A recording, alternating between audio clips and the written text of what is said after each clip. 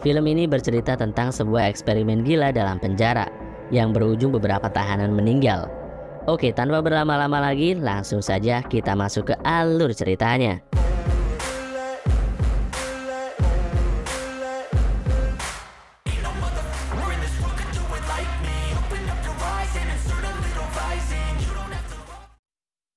Film diawali saat seorang pria bernama Tarek memperoleh pekerjaan yang menawarkan uang puluhan juta.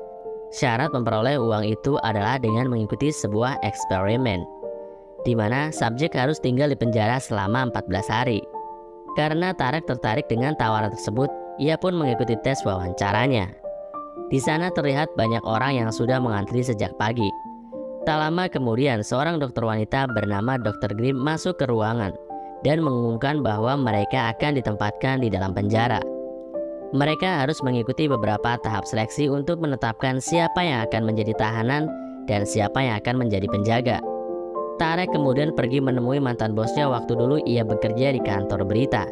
Tarek meminta agar pengalamannya selama di dalam penjara nanti dimuat dalam media cetak, agar Tarek mendapatkan uang tambahan.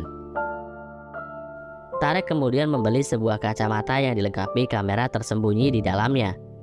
Ia berniat untuk merekam pengalamannya di penjara nanti. Malamnya saat sedang berkendara, Tarek justru terlibat dalam sebuah kecelakaan. Kecelakaan itu kemudian mempertemukan dengan seseorang wanita bernama Dora. Dora adalah seorang wanita yang baru saja kehilangan ayahnya. Dora yang sedih dan labil pun kemudian memilih untuk menghabiskan malam itu di rumah Tarek. Mereka pun tidur bersama, Sejak saat itu Tarek tak bisa berhenti memikirkan Dora. Keesokan harinya, kepala eksperimen tersebut yakni Dr. Ton memberikan pengarahan kepada para subjek. Dalam eksperimen ini, para subjek akan kehilangan hak sipil mereka. Kendati demikian, Dr. Ton berpesan agar tidak ada kekerasan di antara mereka. Mereka pun dipisah menjadi dua grup yaitu penjaga dan tahanan. Pada hari pertama, para tahanan saling melucu satu sama lain. Mereka masih bersikap biasa saja dengan para penjaga, bahkan tidak memberi hormat. Di penjara itu terdapat sejumlah peraturan di antaranya nama tahanan diganti dengan nama nomor urut. Para tahanan juga wajib selalu memanggil para penjaga dengan panggilan hormat. Kemudian setelah lampu dimatikan, mereka tidak lagi boleh berbicara. Makanan yang diberikan pun harus dihabiskan dan perintah dari penjaga penjara harus dipatuhi. Mereka pun dimasukkan ke dalam penjara yang masing-masing berisi tiga orang. Di dalam tahanan itu, Tarek adalah tahanan nomor 77. Selama di dalam penjara, hidupnya selalu saja memikirkan kekasihnya yakni Dora. Tak dapat dipungkiri, meskipun terbilang baru berpacaran, Tarek sudah sangat mencintai Dora. Di situ para tahanan masih kurang menghormati para penjaga. Suatu hari, tahanan nomor 82 enggan menghabiskan susunya. Penjaga pun kesal dibuatnya sehingga mau tidak mau Tareklah yang harus menghabisinya.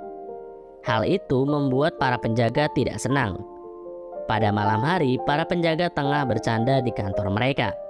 Hingga kemudian seorang penjaga bernama Eker merasa tersinggung dengan omongan itu.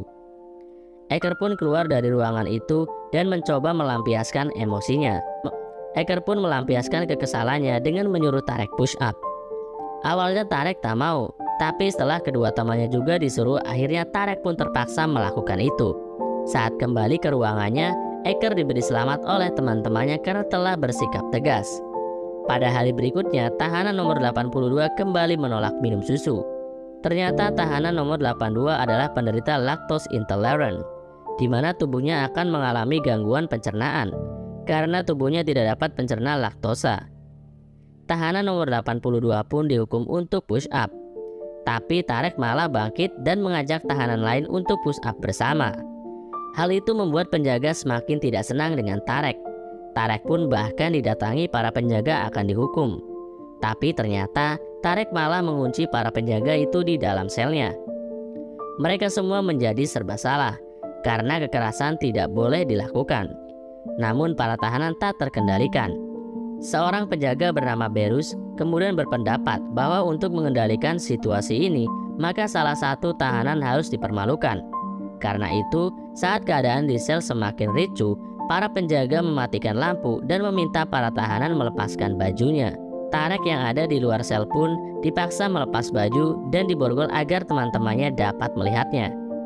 Melihat hal ini, Dr. Ton memberikan ucapan selamat karena akhirnya para penjaga ini dapat mengendalikan suasana penjara yang kacau tanpa kekerasan. Malamnya, para penjaga yang dipimpin oleh Berus menculik Tarek. Tarek diculik, digunduli, dan bahkan dikencingi.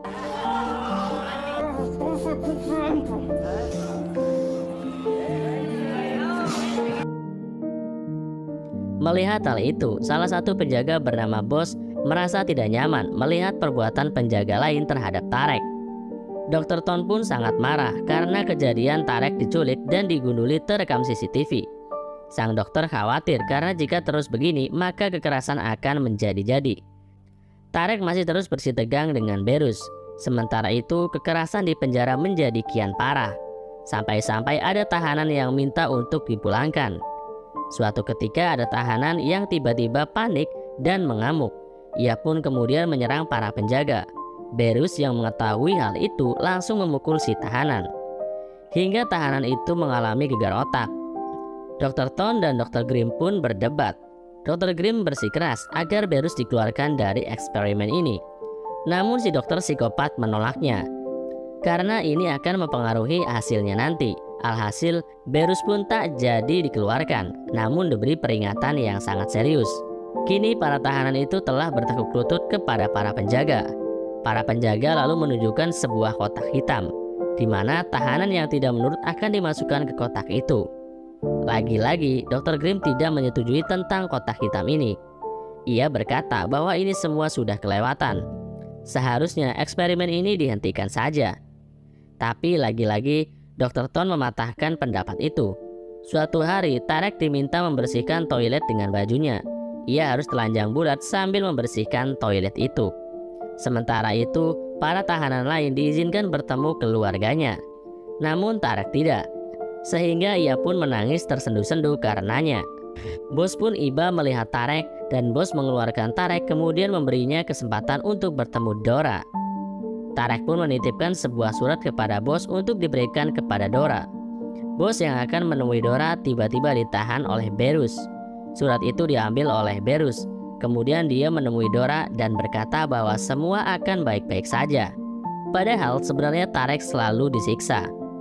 Berus kemudian menyebarkan rumor bahwa bos telah berkhianat dan berada di pihak Tarek. Hal itu membuat bos dijadikan tahanan dan dipukuli oleh para penjaga. Seorang dokter muda yang sedang mengawasi CCTV menghubungi Dr. Ton dan Dr. Grimm. Dokter muda sangat kebingungan melihat keributan di tahanan. Sementara Dr. Ton maupun Dr. Grimm tidak ada yang menjawab teleponnya. Berus kemudian memancing Tarek berkata bahwa dirinya sudah berkencan dengan Dora. Tarek pun marah sampai memukuli Berus. Sialnya, Tarek malah dipukul balik oleh mereka dan dimasukkan ke dalam kotak hitam. Tahanan nomor 82 yang melihat kejadian itu pun lantas ditutup mulutnya. Dokter Grimm yang baru datang sontak kaget dengan apa yang terjadi di penjara itu. Eker pun langsung memerintahkan sama Dokter Grimm untuk berganti pakaian dan langsung dimasukkan ke dalam penjara. Dokter Ton yang menerima pesan tentang keadaan penjara saat ini pun langsung bergegas kembali ke penjara. Sementara itu, Tarek masih berusaha untuk kabur dari kotak hitam. Tanpa diduga, Dora justru kembali lagi ke tempat itu karena khawatir. Berus pun menguncinya di dalam sebuah ruangan. Eker kembali berulah dengan mencoba memperkosa Dr. Grimm. Namun tiba-tiba terdengar suara seperti ledakan yang bersumber dari kotak hitam. Yang berarti Tarek telah berhasil lolos. Tarek yang baru keluar langsung baku hantam dengan Eker. Tahanan lain pun mencoba membantu Tarek dengan mencekik Eker. Setelah itu, Tarek mengeluarkan semua tahanan. Ternyata tahanan 82 sudah dalam keadaan kehilangan banyak darah dan meninggal. Berus menyadari bahwa para tahanan kabur dari penjara.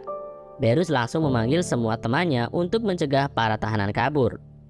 Lewat salah satu dinding sel, mereka satu persatu keluar lewat pintu belakang. Kejar-kejaran antara tahanan dan penjaga pun terjadi dengan seru. Sementara itu, beberapa tahanan malah menemui jalan buntu, sehingga mereka terkepung oleh para penjaga. Beberapa orang yang masih belum tertangkap adalah Tarek, bos, dan satu tahanan lain. Dr. Ton pun tiba di penjara. Mengetahui keadaan di tempat itu sudah sangat mengenaskan, Eker yang kaget saat berpapasan dengan sang dokter secara tidak sengaja menembakkan peluru ke wajah sang dokter psikopat itu. Eker pun kemudian mengejar bos, namun bos malah memukul Eker dengan tabung pemadam kebakaran. Hingga Eker pun meninggal. Akhirnya Tarek dan satu tahanan terkepung oleh penjaga. Mereka langsung baku hantam hingga para penjaga itu berhasil dilumpuhkan. Tak lama kemudian, Berus berusaha menyerang Tarek dengan sebuah pisau. Untung saja Tarek dapat menepis pisau itu. Tahanan lain itu berusaha membunuh Berus, namun dicegah oleh Tarek. Akhirnya, mereka semua berdiri di basement melihat jenazah Eker dan tahanan nomor 82 dibawa keluar. Dalam eksperimen ini terdapat dua orang meninggal dan tiga orang luka-luka. Eksperimen yang seharusnya 14 hari ini dibubarkan dalam hari ke-6. Berus kemudian ditangkap karena pembunuhan. Dr. Grimm juga ditangkap karena melakukan eksperimen ilegal berbahaya. Sementara Tarek dan Dora dapat melanjutkan hubungan mereka dan hidup bersama dengan bahagia. Dan film pun tamat.